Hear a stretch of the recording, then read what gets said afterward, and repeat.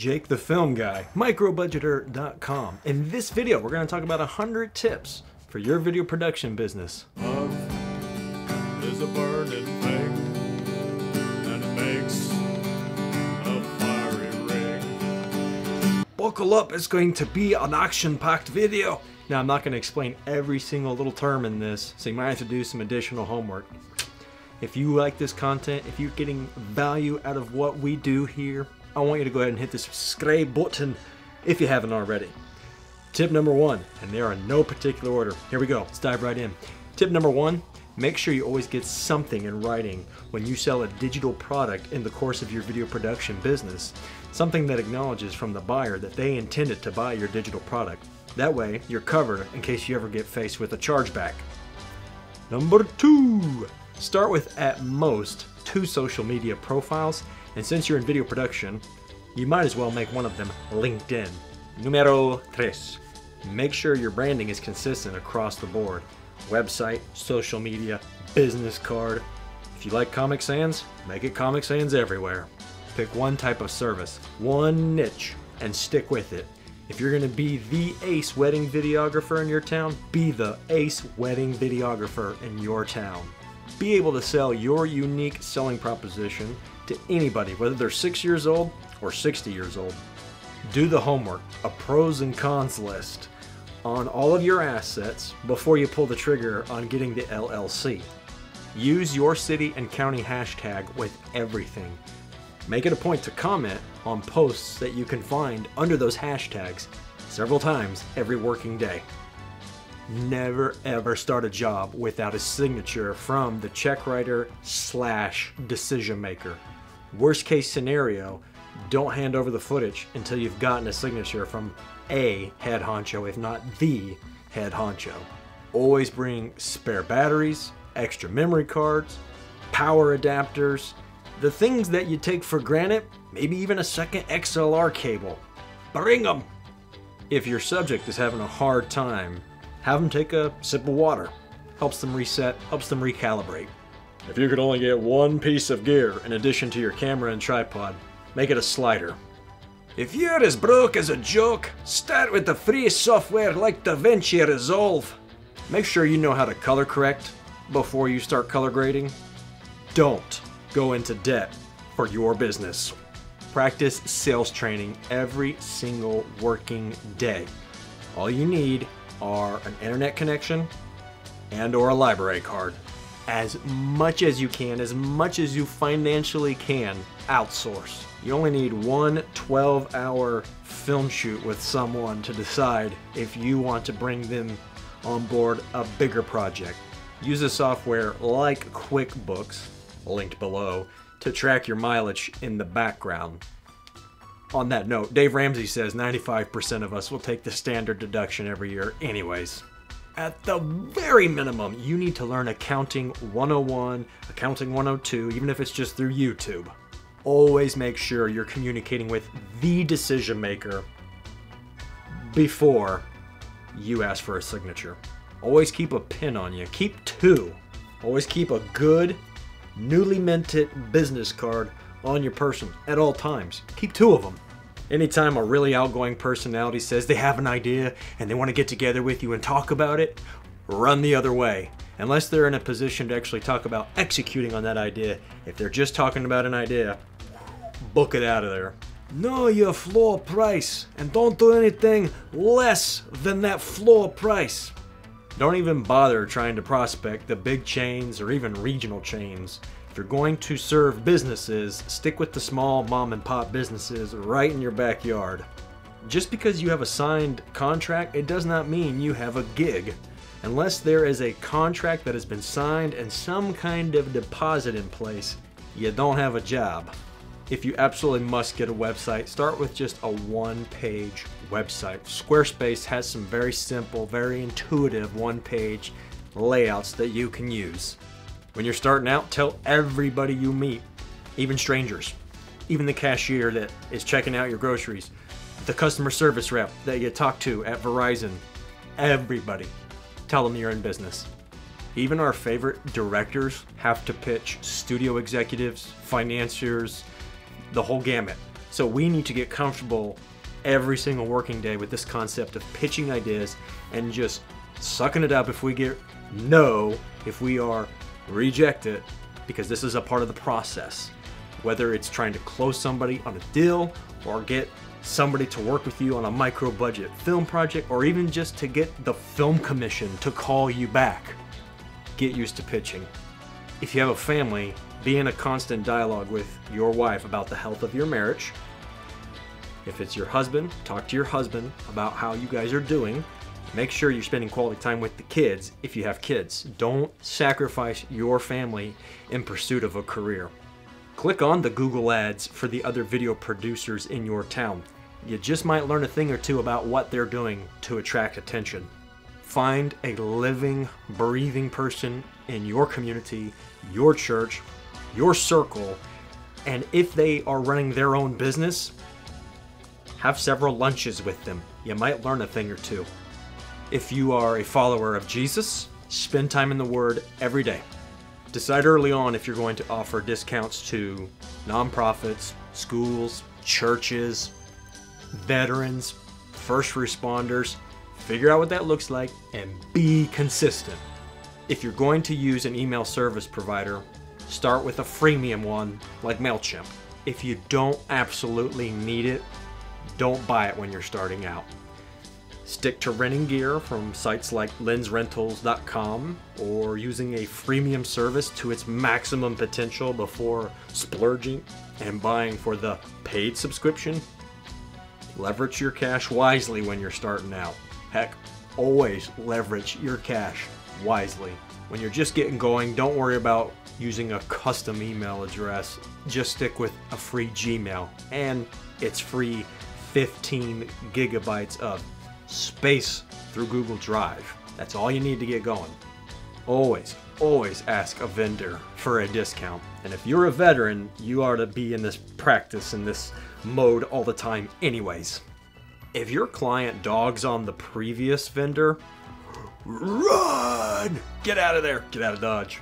Think twice before doing a gig for an international client who has no I don't know the plural word for this, if they don't have a nexus in the United States, they don't have a place of business in the United States, if they could retreat to the other side of the border, for example, Canada, without any other U.S. presence, they could hose you and you would have little to no recourse. So use discernment before agreeing to do work for an international client in that context.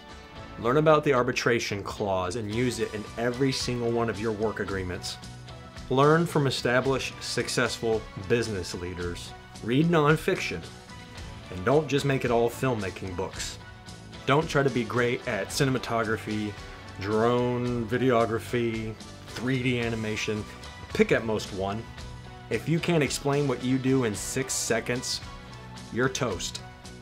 If your client gives you the classic, we'll think about it and we'll let you know if we're interested, they're not interested. At that point, you have two options. Decide if it's worth following up again creatively at some point down the road, or just recasting your fishing line. After all, there are 7 billion plus people and counting on God's green earth. Whatever social medias you use to interact with people, be consistent.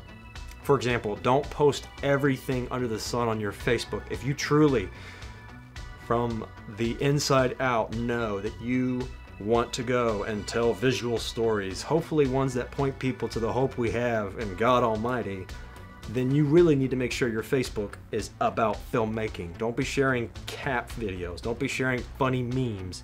Don't be sharing home improvement info. You need to make it consistent. Rinse and repeat across the board. Make sure that you have absolute 100% in perpetuity rights, licensing, the ability to use that piece of intellectual property, whether it's a piece of video, a sound effect, a music track, before you actually do use it in your video.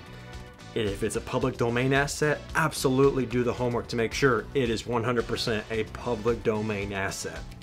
Don't ignore the power of Facebook Messenger to connect with people as much as possible, use the phone over email. Make it a point to learn new things, to experience new experiences. As a creative, your creativity is largely limited by your experiences.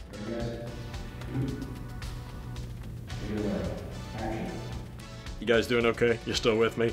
We got 50 more to go. If you found this information useful, go ahead and do this for me. All right. Number 51. Practice saying no and be okay with offering that with zero explanation behind it. I don't remember if it was Kevin Smith or Quentin Tarantino. I want to say it was Kevin Smith, but when asked what advice they would give to another film director, they said practice making decisions because you need to be able to answer questions on a dime. So, here and now, while you and I, as micro budget filmmakers, are learning and growing, we should be practicing even with the little mundane things in everyday life, making decisions, and then sticking with our decisions. I may have said number 51 twice. In any event, this is number 53. Always treat the gatekeeper with respect. Every time somebody gives you their business card, follow up with that person. Always, always spell check. If you struggle with grammar, get help. Make sure your communications are correct. Always follow up with somebody. If they're not interested now, at bare minimum, follow up six months down the road because they might be interested then. Find something extra you can do for your client on the house without them asking for it. Which leads me into my next one. Don't just give everything under the sun because your client asks for it. Be okay with letting them know this will run you this much extra. Do not wait until the deadline that you and your client agree on. Don't do that with the first draft, the second draft, or any other subsequent draft. Always look to over deliver by producing a result ahead of time. That's not just so that you win brownie points with them, that's also so you avoid anything like tricky internet outages, maybe even in your area. It's happened to me, it can happen to you. You can only get one camera, make it an all-in solution, like a Canon cinema camera, something that has XLR inputs, something that has pretty good color, something that does okay with low light, something that also has a built-in waveform monitor, ND filters, so on and so forth. Be okay with saying, I don't know. Don't bluff, don't lie. If you do end up collecting emails through something like a lead magnet, well then do something with that newsletter. Don't just let it sit around and collect cobwebs. Before you ever get a website, make sure you have a business page on Facebook that has your contact information. It's free and it gives you the power of Facebook Messenger that people can use to interact with you. If you're going to be flying often, you should invest in TSA Pre. If you're going on these international adventures, make sure that you can communicate with the people there in that host country what it is you do. Because when they go through your carry-on bag and see all these lithium batteries, they might want to confiscate them. You need to be able to communicate in their native tongue what it is you do and why those need to be going home with you. If it's a talking headpiece, and if it's a long one, see if you can convince your subject to treating it as though it were a live presentation, which means end to end they have to be able to execute in one fell swoop, hiccups and all. This will save you on editing, and it'll also save them the pain and frustration of having to do multiple takes. After all, when it comes to really long talking head pieces, the more they have to do, the more it becomes scripted and they become less enthusiastic. So communicate how it is a win-win for both parties. Always, always assume responsibility. If you mess up and you do something to your client's property, you need to be the first to let them know about it. If what you're doing has a script or even just like a loosely organized storyboard, make sure you and your client sign off on that pre-production before going into production. Never, ever, ever accept cash payments. Your client might pay you in cash that is really old school, and then your bank's gonna raise an eyebrow at you when you go and deposit it, and the last thing you wanna do is defraud your bank because maybe you gave them some illegal tender. Don't leave your camera in direct sunlight for very long. If you have wiggle room to get another piece of gear after the camera, tripod, and slider, make it a C-stand. Learn how to bounce light. If possible, invest in a good lavalier mic kit. And if not, rent one. Make sure you always have permission to shoot on any location that does not belong to you and or your client. If necessary, get a permit as well. If what you're filming involves loud noises that can be perceived as gunfire, make sure you communicate that to your immediate neighbors and the local authorities by picking up the phone and letting them know. Even then, the local authorities may still come to your film set. It's happened to me, it can happen to you. If you live in LA, you're already well aware of these ramifications. As much as possible, find out important dates to your client, such as their birthday, anniversary, kid's birthday, upcoming bar mitzvah. These are all reasons for you to keep in touch and to send them a note or an email, Facebook message. The sky's the limit. Find a system that will have regular reminders for you to follow up with Uncle Bob. If it's Google Calendar, great. Whatever works for you, stick with it. This next one isn't the norm, but if your client puts money in escrow and they don't actually get started on the project with you, continue to follow up with them as if they are an unsold prospect. The last thing you want to do is be sitting on cash and not ready to rock and roll when it is they have that spark or burst of inspiration, creativity, whatever it is they're looking for or stalling for. Again, may not happen to you, but it could.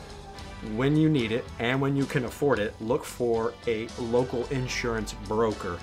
Don't bother with the big guys like State Farm. You're a small fry, I'm a small fry. Find that other solopreneur type business, maybe even just a small, small business, an insurance broker so that you can get your general liability and errors and omissions policy.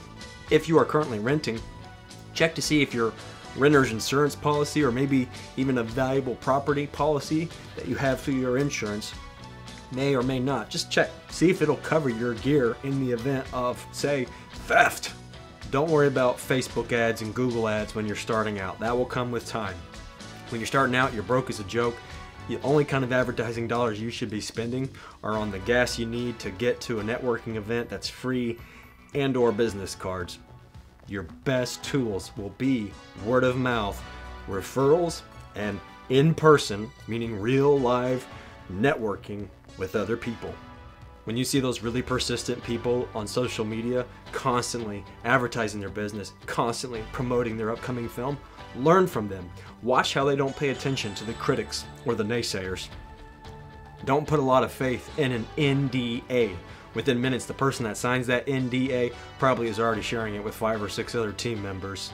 In other words, just don't put any stock in an NDA. As much as possible, dictate. Use voice dictation. You're going to be using your forearms, your wrists, and your fingers for a lot of editing early on as it is.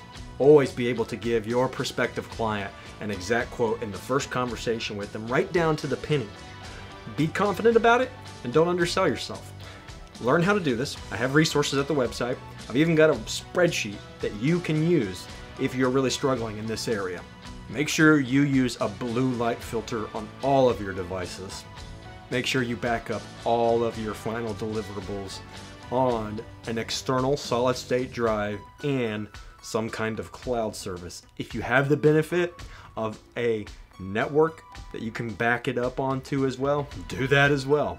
Make sure you're paying your estimated taxes. These are quarterly, and if you need help with that, a service like QuickBooks can help you out. If you have any experience with AV, or even if you're just okay with a camera, see if the metro that you are nearest has some live AV gigs that you can go pick up, onesies and twosies here and there. A lot of it is peripheral or tangential to what we do with video production. But at the end of the day, you're going to pick up a lot more skill you're going to pick up a lot more working knowledge and maybe even a free roll of gaff tape. Never ever ask the what's your budget question. You need to inform your client your floor price right at the beginning of the conversation. This is part of qualifying the client, which I talk about elsewhere. It'll save you and the client hours and hours of frustration. Not every client will use your finished product. Learn to be okay with that. When you're starting out, just get a home based business. Find a space in your house, maybe an office room, Put a desk and a computer there, boom, that's your office. Not only is it for your sanity, but it's also for the IRS. Until your services have been paid for in full, make sure that you put a watermark on any kind of deliverable that you give to your client. If you're shooting indoors and you need that filled audio, make sure you shut off the HVAC. make sure no fans are spinning, etc. If you're shooting outdoors and you need that filled audio, make sure that you have a blimp and a dead wombat. Make sure you function check all of your gear before taking it onto a paid professional shoot. That means sending it through the whole gamut. Low light tests, high ISO tests, shooting outdoors, shooting indoors. Make sure you test the color grading and the color correcting that goes beforehand in the post suite. Make sure you see what the final deliverable looks like in your client's venue, if at all possible. Don't just assume that the footage you shot is going to look good on that projector. You need to test these things before it comes down to the wire. If a client was satisfied with your service, ask them to leave a review for you on LinkedIn, Google, Facebook. We have not because we ask not. Respond to all your comments on social media. If you've tried exhausting every possible way that you can think of of finding a client's name, a prospect's name, and you're still just running into a brick wall, go to your Secretary of State's website and do a search for that person's business. Last but not least, I am a poor substitute for legal and or financial counsel. Take everything I say with a grain of salt. If you found this information at all helpful, I want you to go and get your video production business rolling, moving and grooving. Do your work for the glory of God and the glory of God alone. Keep creating with the King of Kings. I'll see you on the next video.